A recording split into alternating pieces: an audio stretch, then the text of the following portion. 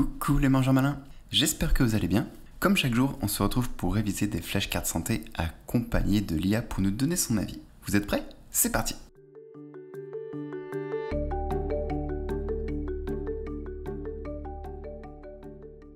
Quel type de déchets métaboliques la fonction glymphatique aide-t-elle à éliminer? Alors, je dirais que principalement c'est fait pour éliminer euh, métaux lourds et certains radicaux libres, euh, voire autres substances euh, potentiellement dangereuses. Après, en détail, je sais pas trop, sauf pour les protéines tau et les protéines bêta. bêta-amyloïdes. Bêta, c'est pancréas, bêta-amyloïde, cerveau. Donc, pour éliminer aussi les protéines bêta-amyloïdes qui pourraient se retrouver dans le cerveau. Bon, ça, c'est ce qui implique des maladies neurodégénératives, mais il y en a sûrement d'autres euh, que j'ai pas là de tête. Euh, concernant toujours les maladies neurodégénératives, puis encore d'autres en dehors des maladies neurodégénératives. Voyons tout ça dans la vérification, c'est parti. Quel type de déchets métaboliques la fonction glymphatique aide-t-elle à éliminer?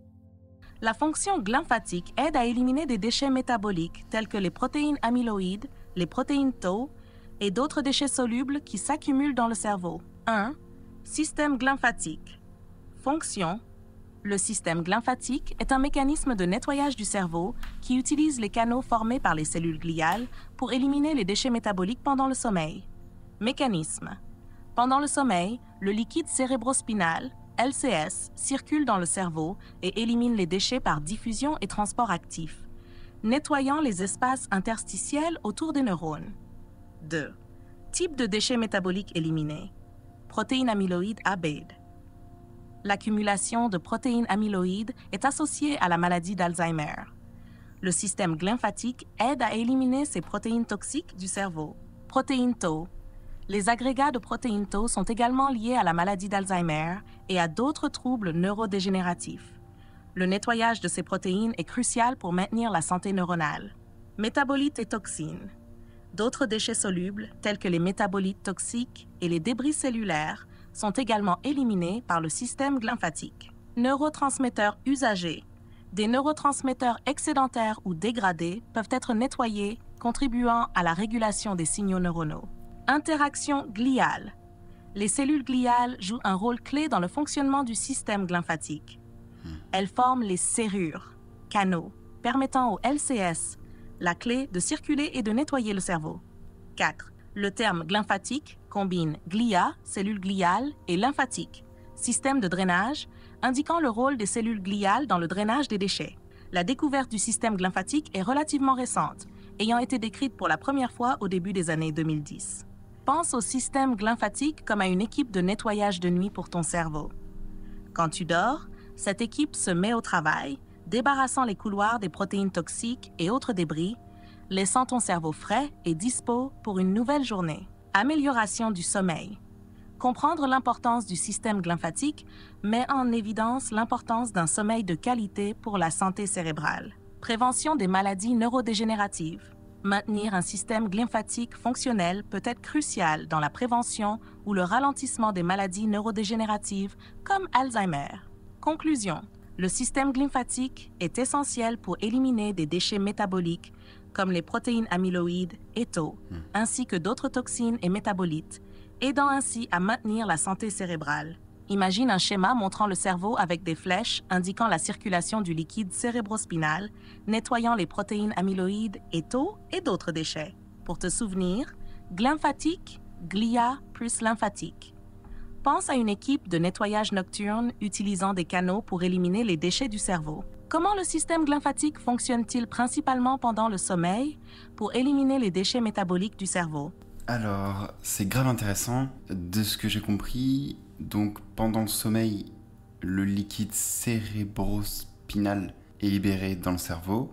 Euh, il circule du coup dans la totalité du cerveau pour, euh, j'ai retenu ce mot-clé, diffuser les déchets qu'il rencontre. Du coup, je me dis si c'est diffusé, il peut rester des résidus de déchets si la fonction glymphatique ne fonctionne pas correctement.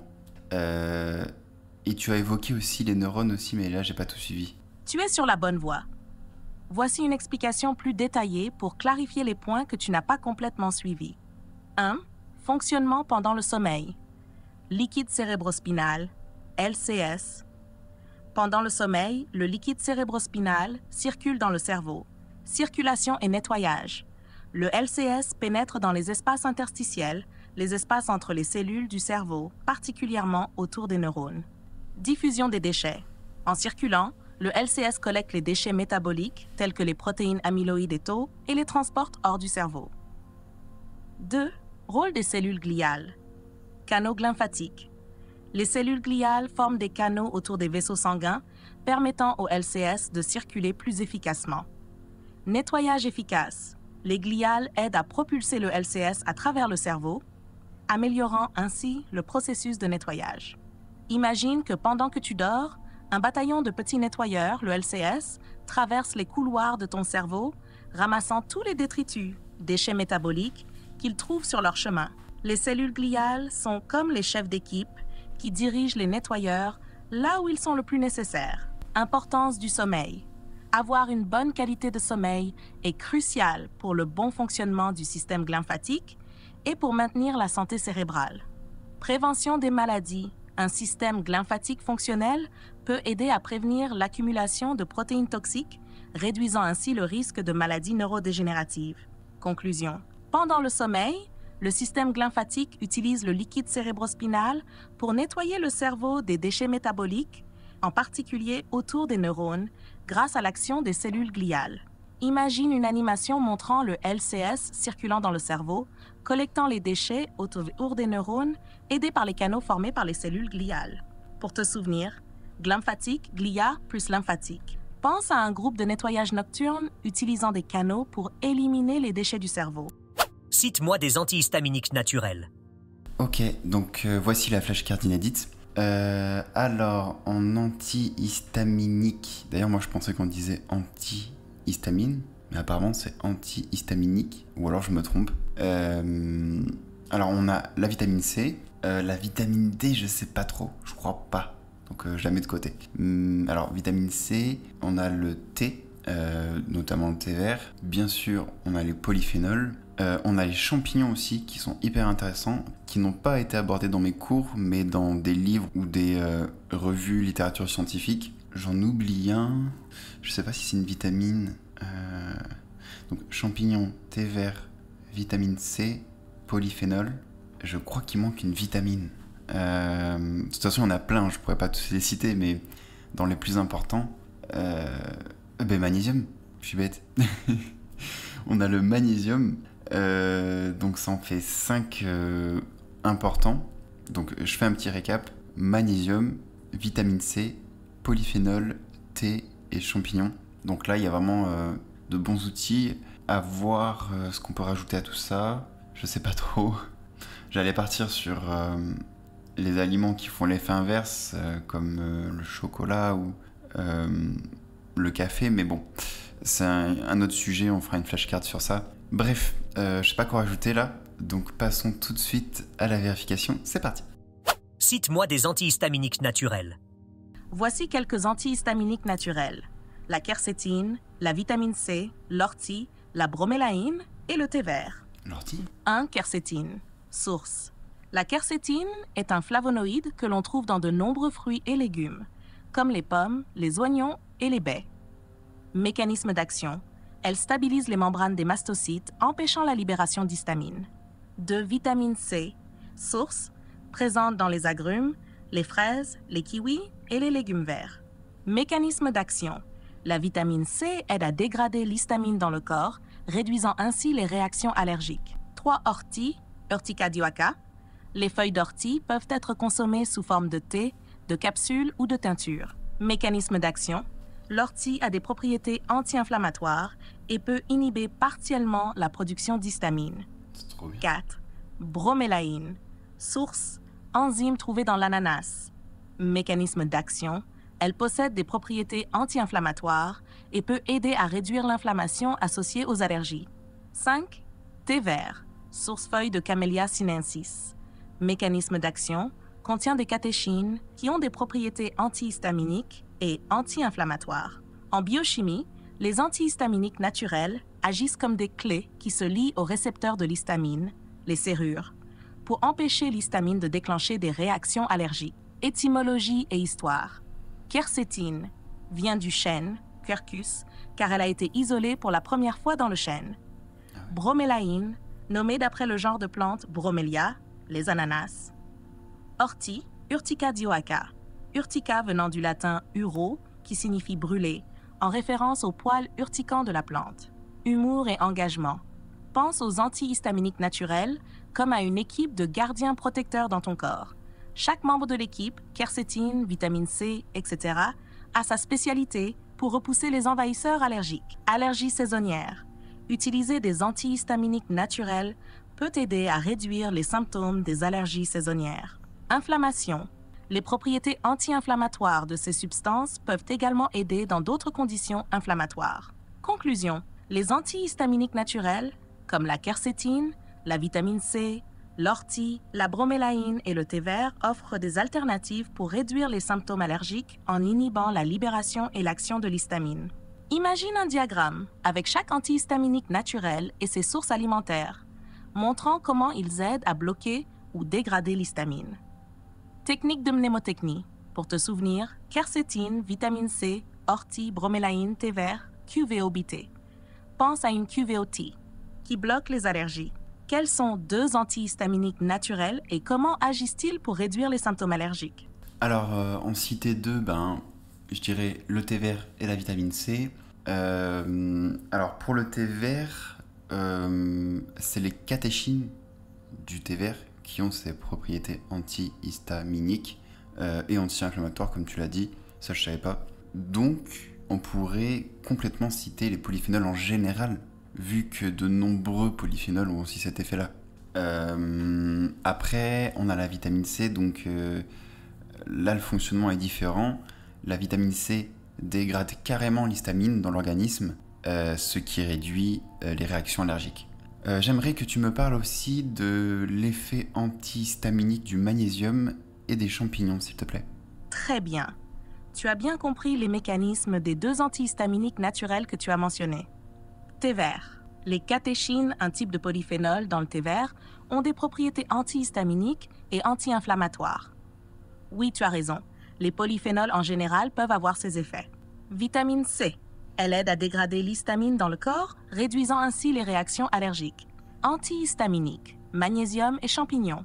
Magnésium, source. Le magnésium est un minéral présent dans de nombreux aliments tels que les légumes verts à feuilles, les noix, les graines et les grains entiers. Effet antihistaminique, réduction de la libération d'histamine. Le magnésium peut aider à stabiliser les membranes des mastocytes, réduisant ainsi la libération d'histamine régulation du système nerveux.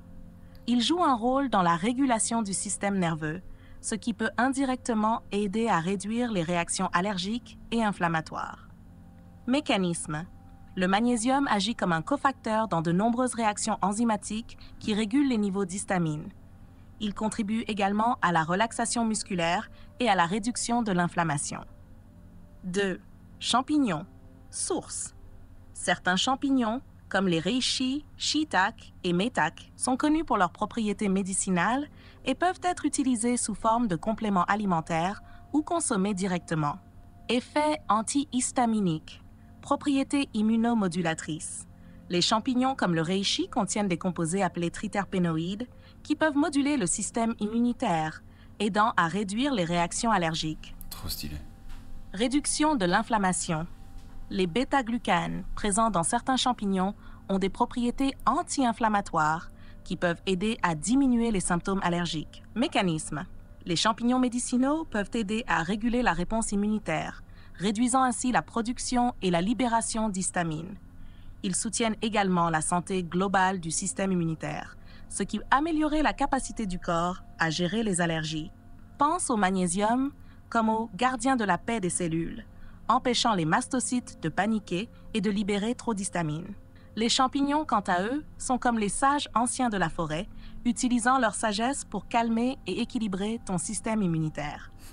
Magnésium, Prendre des suppléments de magnésium ou consommer des aliments riches en magnésium peut aider à stabiliser les niveaux d'histamine et à réduire les symptômes allergiques. Champignons. Intégrer des champignons médicinaux dans son alimentation ou sous forme de suppléments peut aider à moduler la réponse immunitaire et à réduire l'inflammation liée aux allergies. Le magnésium et certains champignons possèdent des propriétés antihistaminiques naturelles. Le magnésium stabilise les membranes des mastocytes et régule le système nerveux, tandis que les champignons médicinaux modulent la réponse immunitaire et réduisent l'inflammation. Imagine un diagramme montrant le magnésium stabilisant les mastocytes et les champignons médicinaux, aidant à moduler la réponse immunitaire et à réduire l'inflammation. Pour te souvenir, magnésium gardien de la paix, champignon sage de la forêt. Pense au magnésium calmant les mastocytes et aux champignons équilibrant le système immunitaire. Ok, c'est intéressant tout ça. Il y a pas mal de flashcards à, faire là, notamment sur les propriétés immunomodulatrices. C'est trop stylé. Euh, et même plus précisément, les triterpénoïdes. Donc ça, c'est- grave intéressant parce que les terpénoïdes, les terpénoïdes, pardon, c'est quelque chose de peu connu, je trouve, euh, dans la santé, je veux dire. Euh, on l'avait déjà évoqué rapidement, mais je crois pas qu'il y a encore de flashcards dessus. Mais euh, ça va pas tarder. Donc là, pareil, pour les triterpénoïdes, on pourra faire ça. Il y a les bêta-glucanes aussi. Et surtout, ce qui m'a étonné, c'est concernant les orties. C'est dingue parce que les orties, plus le temps passe et plus j'ai de bons retours sur les orties, que ce soit gustatif, nutritionnel et même d'un point de vue euh, agriculture. C'est une super plante fixatrice d'azote qui peut faire guise de purin, donc d'engrais. Elle est aussi considérée comme plante bio-indicatrice pour dire qu'un terrain est par exemple euh, trop acide. Enfin bref, c'est vraiment une plante merveilleuse et j'en apprends de plus en plus, comme là avec son effet anti-histaminique. C'est vraiment dingue. En plus, c'est trop bon. Euh, on a aussi la bromélaïne de l'ananas, qui est à ne surtout pas négliger. Enfin bref, il y a de quoi faire. Voilà, voilà. Terminé pour aujourd'hui. Si vous êtes resté jusqu'à la fin, félicitations. Restez motivés et je vous dis à demain pour une prochaine révision. Ciao ciao